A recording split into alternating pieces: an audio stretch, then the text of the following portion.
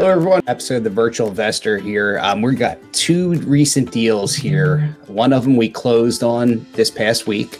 One of them we just got under contract. And Mike is going to run through the numbers here to show you what we're anticipating, what we feel is going to happen. And then when these do, in fact, sell, we'll, of course, do the review of those down the road here.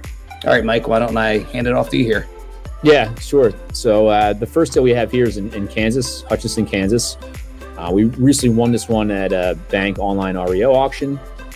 Uh, this is so new of a win. We still don't have funding lined up for it. So uh, if you or anyone you know interested, you know, feel free to reach out to us. We're going to run through some numbers here, and then we'll talk about on the next slide some renovations, and then on top of our analysis that we did, and we'll kind of share with you some comps that we looked at to get comfortable with this deal. We also had a local agent look at it uh, and provide information as well. So first off, let's go to you know Zillow, and you know pictures aren't great here, a little bit blurry. Uh, however, it's in good condition. You can see here the, the cabinets, uh, kitchen, pretty solid looking, flooring, painting, uh, all, all, decent. Carpets are actually from the images that we've seen and heard are decent condition as well. Yeah. Um, better better close ups of the, the kitchen here. Um, newer cabinets, newer kitchen. So not really all too too dated at all, uh, in my opinion. Mike, this was like uh, sold in 2020 as a rehab property, if I remember right. Correct. Okay. So that's that's kind of like what it looks like now and what we're picking it up for. And you know, we looked at comps in the area. The one that I hung on the most is uh, this one, uh, just uh, two blocks north. Similar size to ours. I think ours is like 13. Ours is actually 3 to 1600 this one's actually a tad bit smaller, about 200 square feet smaller, but similar style. And you can kind of see here, this is a lot more dated than ours. Mm-hmm. Um, this kitchen is much older. Um, you know, paint that red looked good in the year 2000. Uh, so it probably hasn't been painted in, in two, 20 years. And this ended up selling for talking to the agent um, around the, it went pending at 168. And I think it sold for right around there, if I recall correctly, from the MLS comps uh, where we got the actual value. Kansas is a non-disclosure state. We've done other videos in the past, kind of like a cheat code on to try to figure out what stuff sold for in Zillow. Uh, kind of figure out you know, plus or minus a few thousand on the, where the pending went. Yeah, and Mike, so, just to add on top of that real quick, if people want to go to Redfin and look at a particular market, they can see what things sell from uh, the list price compared to what they actually sold for. If you use that percentage, you're going to be right in the ballpark. Exactly. So knowing that this is a 168 comp and again, we I guess the area I must have hit something. The area is not uh, drawn in. I think we looked at everything from we're on around here, 11th Street. I think yeah. I just kind of took a draw of essentially here to look at you know what are comps in this immediate town area here, and you know that was the one property that that popped up that we just looked at right there, and getting comfortable with the values. Talking to our local agent, um, agent thought conservatively, 130 was the as of value on this property. What made me feel a lot better was that 168 that I just walked us through, right? Um, 168, I, I, think we could easily on the low side get 130. So, what do the numbers look like? So, worst case scenario, I think this sells for 130 as is, especially given that other comp two blocks away. And if we're buying it for 93, you know, all in five months of holding cost, uh, agent commission, we should walk away around 21 and change uh, from a dollar perspective, 21,000 and an ROI of 21. I'm, I'm thinking we could get a little bit more, but uh, this is kind of my conservative as is analysis. Paul, what are your thoughts there? Yeah, no, we've been erring on the side of conservativeness with the market. You know, just kind of we're going into August now, tomorrow. So it's a slower time of the year. So just err on the side of caution here and look at our lower numbers in the, in the, in the lower 20s, but this could surprise into the 30s or 40s, right? This upside could be pretty big on this one. We won't know for sure until we get it listed, and uh, maybe we'll do a little bit of landscaping to clean it up and make it look good, and get a yeah. cleaner there, do a heavy duty cleaning, make sure the plumbing is good, the electric's good, and all that. But we don't anticipate really having to do any rehab on this property. It should no. sell as is. Yeah, worst case, you, you added 2000 here to the renovations, you might get a 140 on that. That's a good yeah, ROI. True. You know, adding 2K to a property to get 10 back, I'll do that all day long. All day long. Yeah, it's great return on investment there. Really, these things just need touched up. I mean, these are not even listed on the MLS. A lot of these properties we're getting Correct. here. So nobody else's eyes are on there. If they were to be on the MLS, they're probably going to sell north of 140, like you were talking about, Mike. And it's probably going to be the range um, of this one here. But no, it looks like a really good, solid deal, and the market's decent, and you have good sold comps to go off of there. So we had good data on this one. Yeah, absolutely.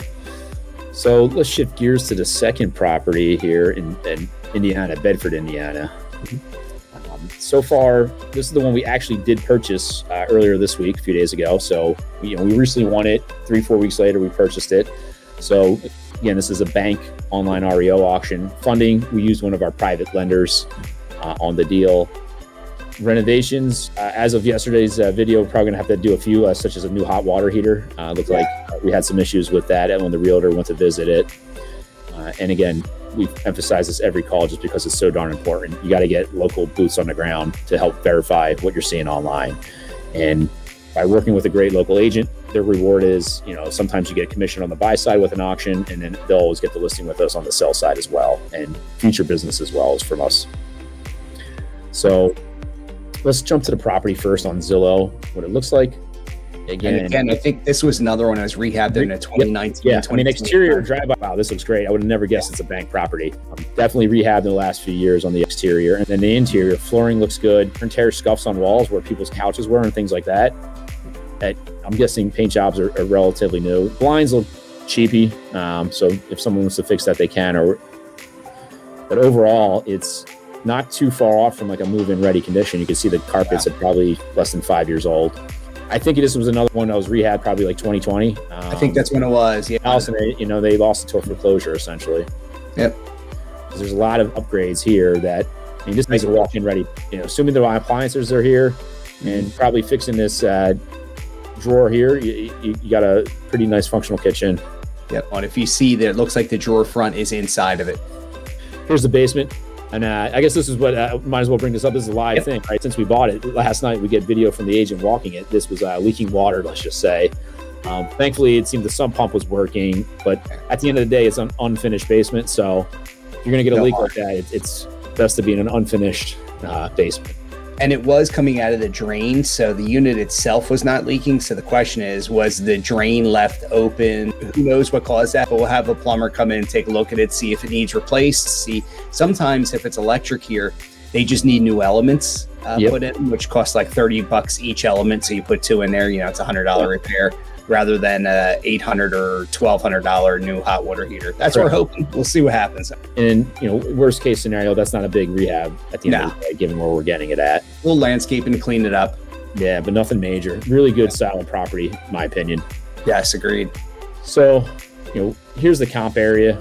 Um, again, we kind of looked on in between these two main arteries in this town. Um, from a high to low, you know, your houses are selling max to 170 and then you got some properties that are smaller two beds under a thousand square feet that are in the 50s. Our property is uh, a little bit bigger than that. Two good comps to get us comfortable is this uh, 3 1,000 and change square foot. That's uh, 145. And then this 135, a thousand square foot, three bedroom as well. You can see these are pretty dated compared to ours. But again, I'm looking for like worst case scenario. If it sits on the market, what could it at least get? And yeah. these are two properties that 135 and 145 that are dated compared to uh, our property that we have. So we were pretty comfortable going back to the numbers here using a 129.9 is a kind of a worst case scenario, yeah. knowing that you have a one thirty, I think it's 135. I just typed that 135 and 145 sold uh, there. And, and this property did have a buyer's premium on it, so you know we, I, we were highest bid at 89k, but he added in the uh, auction premium. And you know, if we sell on the low end of these comps at 130 or 129.9, we, we walk away with 20k. Which is considered really doesn't need that much work, and it should move pretty quick. And the agent told us now this is a slower time of year and the market slowed a bit. So originally, I think we were thinking 135 when it's listed, but she recommended yeah. 129.9 to get more foot traffic in. Yep. And there's a chance we get a bidding war. Who knows? We may get a bidding war with this property with it being priced below. With these two comps here that we just showed.